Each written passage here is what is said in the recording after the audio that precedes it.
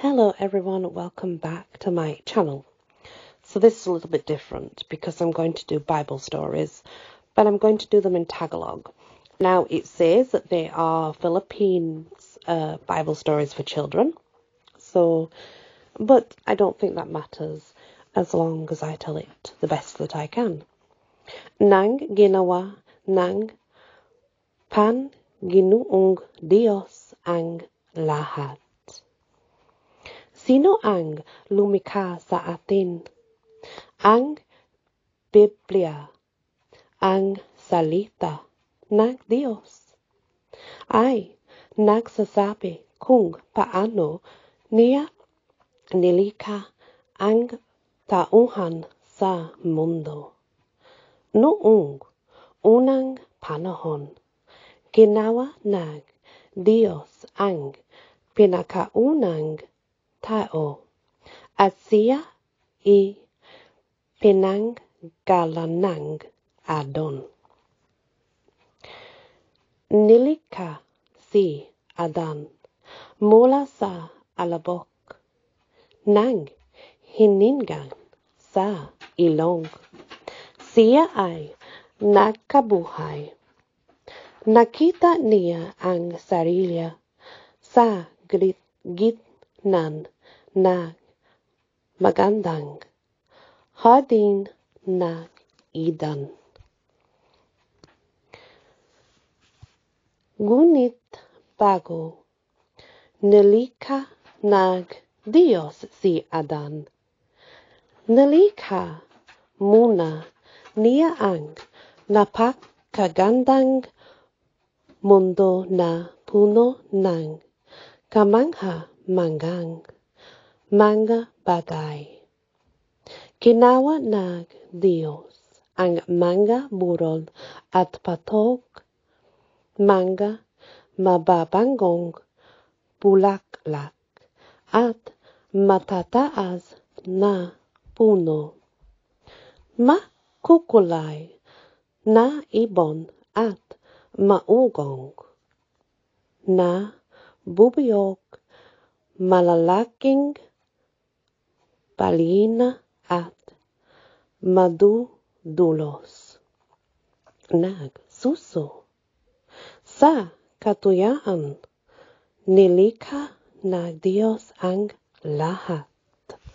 Ang lahat ng pasimula bago nilikha ang lahat. Wala ang mundo at anuman. Maliban sa Diyos, walang tao, walang lugar, walang bagay, wala lahat, walang ilaw, walang dilim, walang taas, walang baba, walang kahapon at walang bukas. Ang Diyos lamang ang naroon na siyang walang hangganan. Kaya't ang Diyos ay kumilos. Nang pasimula ay nilikha ng Diyos ang langit at ang lupa. At ang mundo ay walang hugis at walang laman. At ang kadiliman ay bumabalot sa kalaiman. Nagsalita ang Diyos. Magkaroon ng liwanag. Nagkaroon ng ng liwanag. Tinawag ng Diyos ang liwanag na araw at ang dilim ay gabi. Ang gabi at ang umaga ang unang araw. Sa ikalawang araw, dinala ng Diyos ang tubig sa karagaton at kalawaan upang magkaroon ng kaayusan sa ilalim ng kalangitan. Nang ikatlong araw, sinabi ng Diyos, magkaroon ng tuyong lupain at iyon ay nangyari. Nag-utos din ang Diyos na magkaroon ng damo, bulalak, halaman, at mga puno. At iyon ay nangyari. At ang gabi at ang umaga ay ang ikatlong araw. Nilikha din ng Diyos ang araw, ang buwan, at ang napakaraming mga bituin na walang sino mang makapipilang. At ang gabi at ang umaga ang ika-apat na araw ng ikalimang araw. Ni nilikha ang nag Diyos ang iba't ibang uri ng isda at iba pang mga nabubuhay sa tagatupong punuin ang mga tubigan. Nilikha din niya ang iba't ibang uri ng ibon upang manirahan saan mang dako ng mundo. At ang gabi at ang umaga ang ikalimang araw. Pagkapa, no, sorry, pagkatapos, nagsalita muli ang Diyos. Nagayon, magkaroon, nag-ibita ibang uri nag hayop. Nagkaroon ng lahat na yuri na hayop at insekto.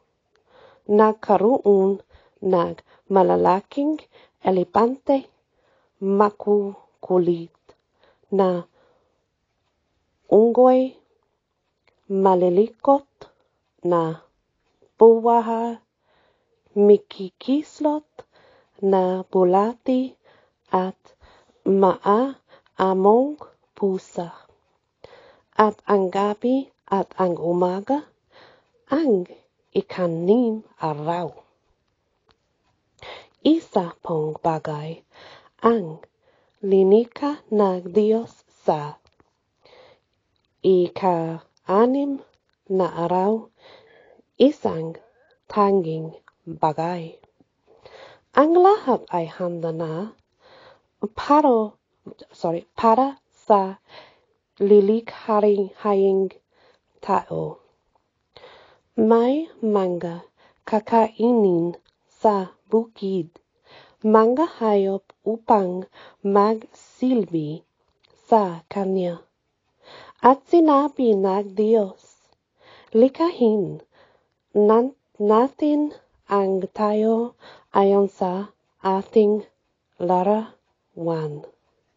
Siya ang mamahala sa lahat nag linika sa mundo.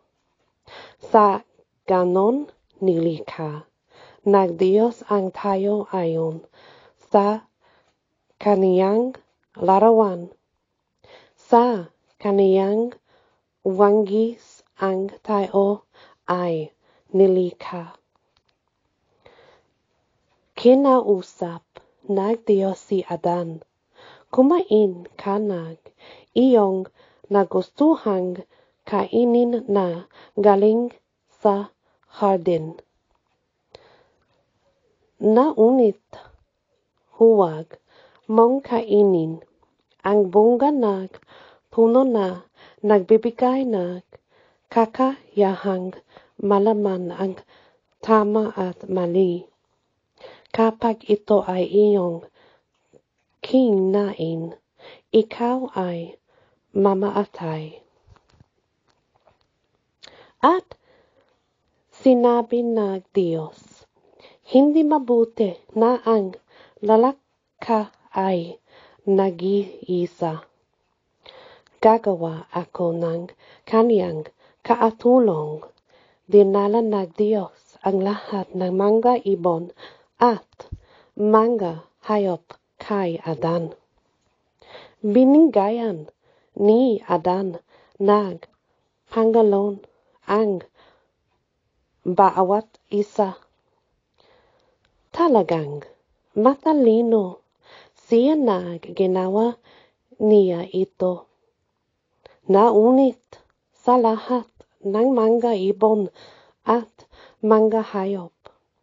Walang isa na kabagay ni Adan upang makasama.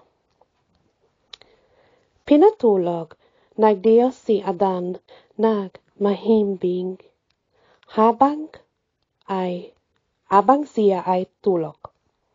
Kinuha ang kaniyang isang tariang at ito i ginawang babae. Ang babae na ginawa ng Diyos ay angkop na maging kasama ni Adan. Ginawa ng Diyos ang lahat sa loob ng anim na araw at pinabasan ng Diyos ang ikapitong araw at ginawa itong araw ng pahinga. The end. Ang walas or ang wakas. Um, sometimes they say walas, sometimes they say wakas, and I don't know why. I think maybe it could be the different pronunciations or the different how to say it the end. I'm not sure. But that is the first part of the Bible stories. It does say suitable for children. I hope that's the case. But I'm just using it to learn, guys, okay? And that's all. but that's the first part. Hopefully, you will join me back for the second part. That would be really, really great if you did. Thank you so much for listening and many blessings.